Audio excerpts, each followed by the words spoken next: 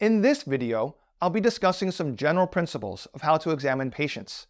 These are the behaviors that a clinician should demonstrate irrespective of how complex or brief the exam will be. I'll discuss how to optimize the environment, how to communicate effectively and respectfully during the exam, how to promote patient comfort, including a demonstration of draping for different parts of the exam, and I'll end with general points regarding the examination of patients with obesity and of those with a disability. But first, there is one consideration that transcends all of the others.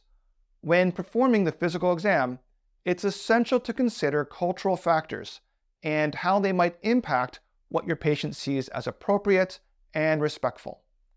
I'm an American doctor who practices adult medicine in an American hospital. That's the perspective that I bring to this video and to this course overall. While I believe the vast majority of what I'll be saying today is applicable throughout the world, specific recommendations might differ for some places and within some cultures and within some contexts. Before the exam even begins, you need to optimize the environment. What's necessary to achieve this will depend on the content of the exam you'll be performing, and you may be limited by the setting. Examining a patient in a crowded, noisy ER is a very different experience than doing so in a quiet, relatively spacious outpatient clinic. For both patient privacy and to reduce distractions, the door to the room should be closed if safe and feasible to do so. If there's more than one patient in the room and it's not practical to temporarily relocate either patient, ensure that the person you are examining is fully surrounded by curtains. That may seem obvious, but in a busy hospital environment, it is surprisingly easy to overlook. Ensure that the room is properly lit. It's common in American hospitals to have three major light sources, the window, a relatively dim light attached to the wall at the head of the bed, and a relatively bright light on the ceiling above the bed. In the absence of patient photophobia, that is pain in the eyes in bright light, you should always examine the patient with the overhead light on. Whether in the hospital or in clinic, raise the exam table or bed to a height that is comfortable for you as the examiner. You should neither be on your tiptoes nor hunched over during any part of the exam. Just be sure to lower the bed or exam table to a safe position after the exam is completed. For any exam of the body that includes regions below the neck and above the ankle, it is preferable for the patient to be in a medical gown with the opening in the back. An exception to this would be if performing only a breast exam, in which case the gown opening would typically be in the front with a sheet across the patient's lap. Regarding what undergarments should stay on underneath the gown, it also depends on the maneuvers to be performed. If cardiac, pulmonary, and or abdominal exams are to be performed, it is optimal from the examiner's perspective for women and others with breasts to not be wearing a bra. However, if a patient feels more comfortable with it left on, it is not the end of the world. Most maneuvers can still be reasonably performed with the very notable exception of a breast exam. Regarding other underwear under the gown, for most exams, it stays on, with pelvic, GU, and rectal exams being the obvious exceptions. Sanitize your hands immediately before the exam, even if you already did so upon initially entering the room. Also resanitize your hands whenever you've touched your own face and after you've examined the patient's feet. Regarding the routine use of face masks during patient encounters, this is a whole discussion about which some people have very strong opinions. In extreme brief, you should follow local guidance from your public health department and clinical supervisor.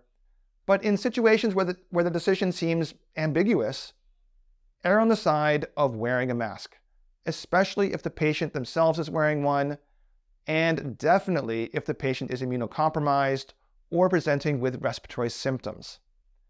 Now, I won't be wearing a mask in this video series because it's more difficult to effectively communicate in video form with one on, and because the actors and actresses I'll be working with are all healthy and they've been hired with the specific understanding that we won't be wearing masks during filming.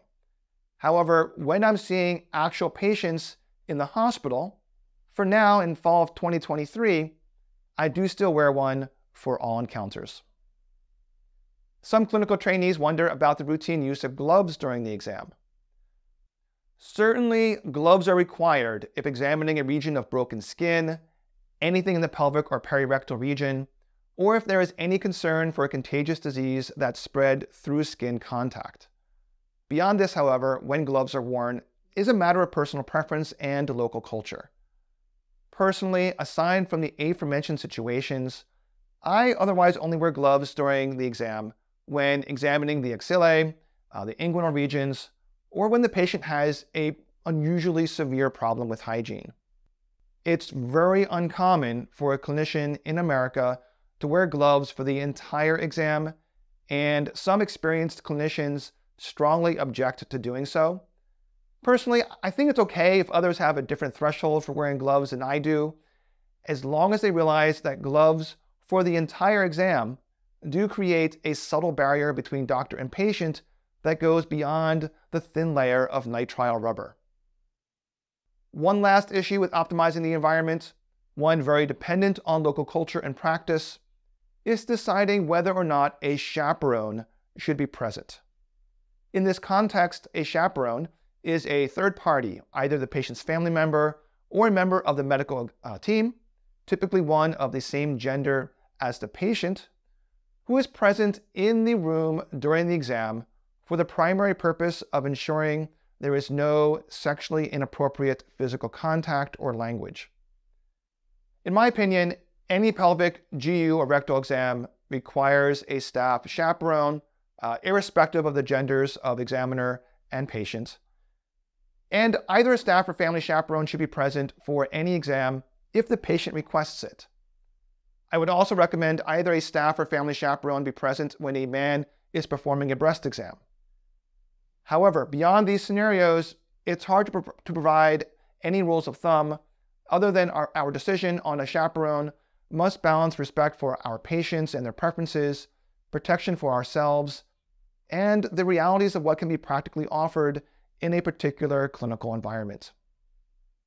Clear and respectful communication during the exam is critical for clinician-patient rapport, as well as for facilitating the actual maneuvers themselves. Although this can take hundreds of patient encounters before a student feels fully comfortable with this, Success comes down to only several basic principles. Explain what you're going to do before you do it, not as you are doing it. Avoid technical jargon. Although a relatively small thing, avoid giving explanations while standing behind the patient where they can't see you.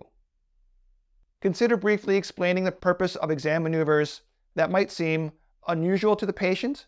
For example, when I examine the JVP, I will often tell patients that clinicians can estimate the pressures inside the heart by looking at the veins in their necks.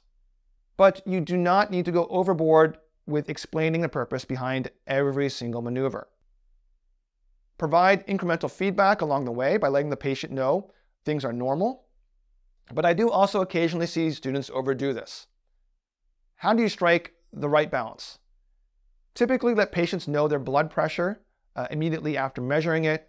Uh, I find that uh, patients are particularly interested in that one value, um, if it happens to be part of the exam.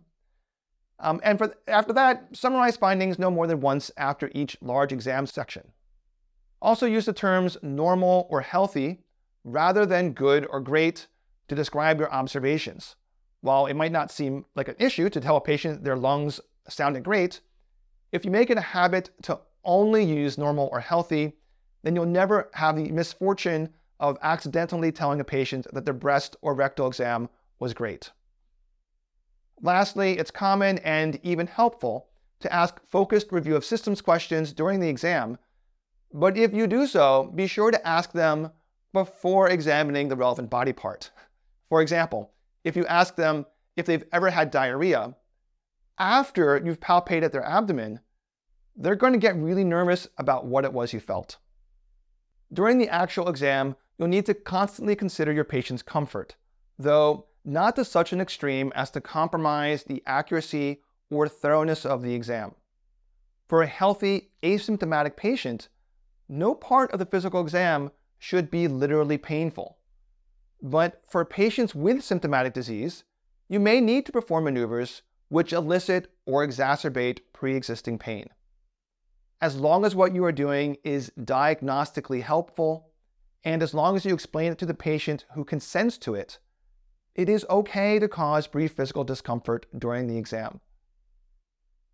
When it comes to the exam sequence and flow, unless the patient is a healthcare professional themselves, they will neither know nor care about the proper order. Therefore, use an order that makes logical sense to you and which minimizes the chance that you forget something. And if midway through the exam you happen to remember a maneuver that ideally or optimally you should have done earlier, just go back to it. Trust me, the patient, they will not notice. The only other rule about the exam sequence is that you should try to minimize the number of times the patient needs to move positions. So ideally, all maneuvers for which the patient needs to be supine should be done at the same time, and Should you know all maneuvers that require the patient to be standing up. Now let's discuss the practicalities of draping patients and adjusting their gown during the exam. In order for the exam to be as useful and accurate as possible, you do need to expose what needs to be examined, but no more than this. In other words, if a part of the body that is usually covered is not actively being examined, it should be covered at that particular time. As you adjust what's covered and not covered, you should be the one who moves the sheet or drape, while the patient is the one who moves their own gown. If you ever do need to move the gown yourself, always explain what you'd like to do before you do it, rather than as you're doing it. Let me demonstrate some specific draping and gowning techniques. In all these, you should start with a sheet laying across the patient's lap. This provides some extra modesty, and it also leaves it within reach when it becomes more necessary. The posterior chest exam is the same in all genders. Explain what you are planning to do, and offer to untie the gown behind the neck for the patient, since it may be hard for them to reach. Ask the patient to cross their arms and hold their opposite shoulders. This helps to prevent the gown from falling off the shoulder and unnecessarily exposing their anterior chest. In this position, you can then inspect, percuss, and auscultate the posterior lungs. If a bra is present, simply examine around it.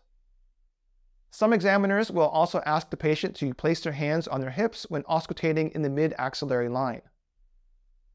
To examine the anterior chest in a man, either sitting or supine, simply ask him to lower his gown to his waist.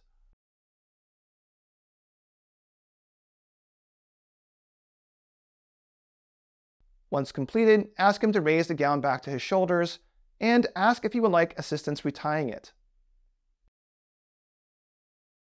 Examination of the anterior chest in a woman and in others with breasts. This is best done in a supine or semi-supine position. This limits the likelihood of a gowning mishap. The sheet should be fully across their lap and legs. If using a conventional exam table, extend the leg rest. When examining the upper chest, including the lung apices, clavicles, and upper cardiac auscultation, ask the patient to lower their gown to several inches below their collarbone or to the level of their upper breasts. When you switch to examining the lower chest, first ask them to raise their gown back to their shoulders.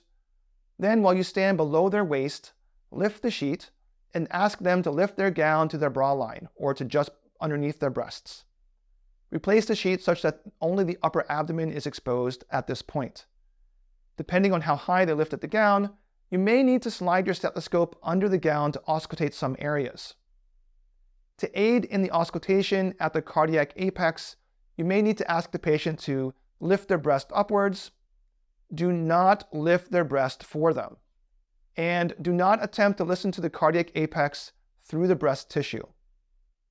When it's time to examine the abdomen, ask if you can lower the sheet to the hips. If the lower abdomen or inguinal regions are not sufficiently exposed due to the patient's underwear, it's okay to ask your patient to further lower their underwear to the extent needed, but once again, avoid doing this yourself. Proper draping for the breast, pelvic, GU, and rectal exams is slightly more complicated, but follow the same general principles of exposing only what's necessary, only for as long as necessary.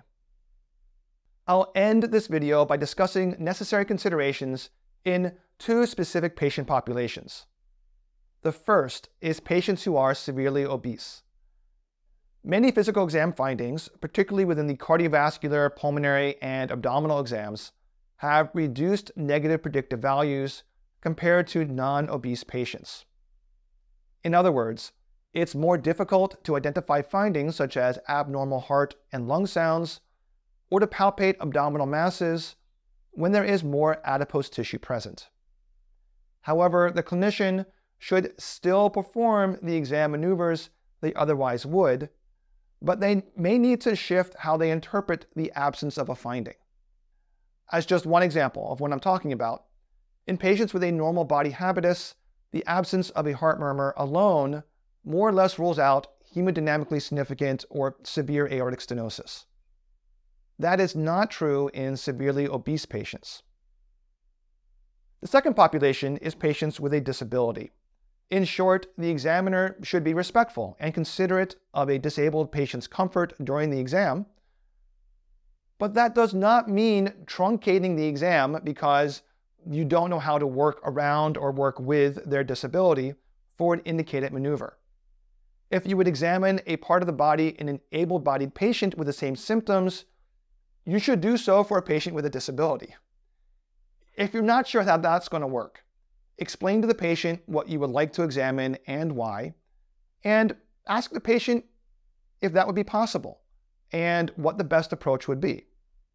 For example, performing an abdominal or back exam in a quadriplegic patient who is sitting in a motorized wheelchair. That kind of exam should not be attempted with a patient still in the wheelchair, if at all possible. Sometimes you need to get a little creative. Just because a patient is blind doesn't mean that you can't test their coordination, despite the fact that it's usually done by asking the patient to mimic emotion that you're doing yourself. And just because a patient is deaf does not make an assessment of language skills any less relevant. If you need to perform a relatively common maneuver in such situations, sometimes the patients themselves may have suggestions from previous exams they've received. That concludes this video on general principles of the physical exam. Subsequent videos in this series will demonstrate and discuss specific maneuvers with examples of common findings.